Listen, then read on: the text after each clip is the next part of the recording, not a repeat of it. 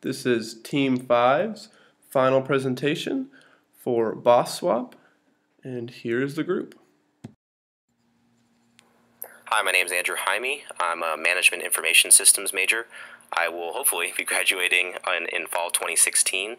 And the reason I took this management class wasn't only because I needed to take it for my base management courses, but also because um, in my internship, I constantly use these concepts every single day. Um, I'm challenged to deal with people that aren't quite technologically advanced as I am, so uh, I have to use these management concepts to actually get through my day without getting fired. Hi, my name is Jashana Stevens. I am a accounting major with a projected graduation date of December of 2016. I took Principles of Management not only because it's a core business class, but also because I knew I would learn a lot of different concepts that will help me in the future in regards to my career. Hi, my name is Ian Sweeney. I'm a business management major, hopefully graduating in fall of 2016. And I decided to take this class to help me hopefully implement my business plan later on in life. Hi, I'm Kayla Thomas, and I am a finance major. I plan on graduating in the next couple years. Um, I took principles of man- management so I can better understand businesses and how they function. Boss Swap is a reality TV show where bosses from different businesses switch positions for two days. Our two businesses are Laced Up, which is a shoe store located in New York City, and DIY Hardware, which is located in Alabama. The purpose of our show is to find weaknesses and issues within the businesses to not only better their operations, but improve the employees' outlook of, the companies. A reality TV show is intrusive, but should be very beneficial for all parties in the end. Boss Swap is meant to improve the business as a whole. The film crew will be sent to both businesses for two days, and employees at each business will have to work together and accept their new boss if they want to keep their job. Managers and directors will have to use basic management techniques throughout the entire show.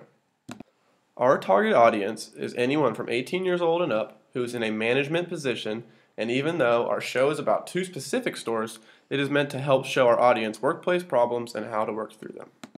Our business pitch will be broken up into five episodes, each depicting a different issue at one of the stores. The last episode will show how each issue was resolved.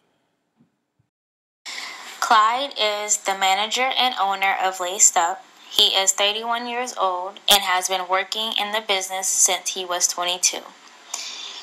He is unfortunately technologically challenged and he loves how far his business has come in the nine years he's been in business. In the episodes following, you will find out how Clyde faces his challenges with technology and soon realizes that it is beneficial to him and his business to upgrade in regards to better POS systems in the stores. Brooke is an employee at Laced Up. She is currently a college student at New York University studying law, and she is working to pay her way through school. She has been employed at Laced Up for about two years. Cynthia is an employee at Laced Up. She immigrated from India at age 18 to experience better job opportunities here in America. She is currently seeking to attend college in order to receive a bachelor's degree in communications. Lucinda is the manager at DIY Hardware. She is left hand dominant and she has a Bachelor's of Science in Engineering but has not found a career in her field. In the following episodes, you will see how it conflict can arise when employees are not aware of their colleagues' cultural beliefs and differences. Dwayne is an employee at DIY Hardware. He has been employed there for about three years now, and he is currently doing all that he can do to impress his manager so that he can get a promotion to a manager position within the store himself. Michael is an employee at DIY Hardware. He is a former contract worker whose business failed, resulting in his wife leaving with the children and filing for divorce. He is having a terrible week at work due to his personal issues, and in the following episodes, you will see how Michael is taught to deal with his personal issues while working.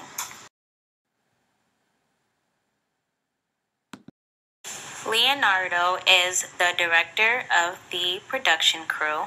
He constantly has a migraine due to the different personalities that are on his production crew that he has to deal with.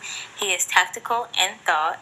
He is a courageous leader, very responsible, and he faces the challenges that any manager would face in regards to dealing with their employees when he has assigned specific tasks to each employee based on their skill set.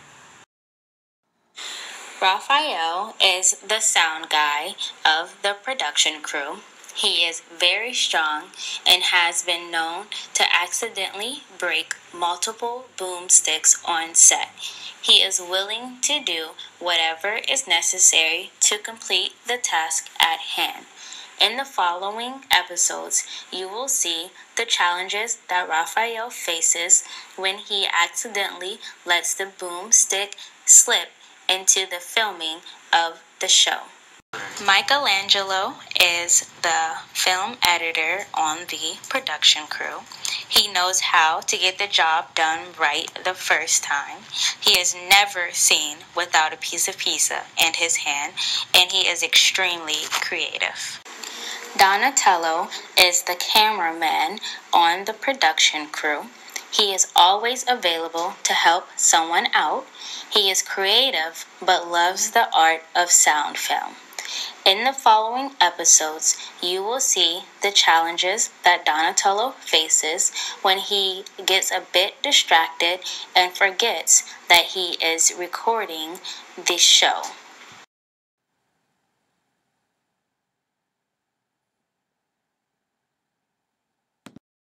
In our first episode, Lucinda starts her first day at Laced Up and immediately runs into an issue with integration. Cynthia and Brooke know how to sell shoes, but Clyde deals almost exclusively with the admin work as well as the making of the shoes.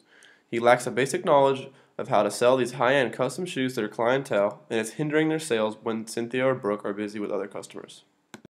In episode 2, Lucinda notices hostility from Cynthia throughout their morning at work. Lucinda and Brooke are both confused as to why Cynthia is upset. Lucinda happens to be left hand dominant, while Cynthia, coming from an Indian culture, sees the use of the left hand as unclean and is angry at Lucinda. Unfortunately, Clyde didn't mention to Lucinda about Cynthia's cultural background, and there has been controversy since the first day of Boss.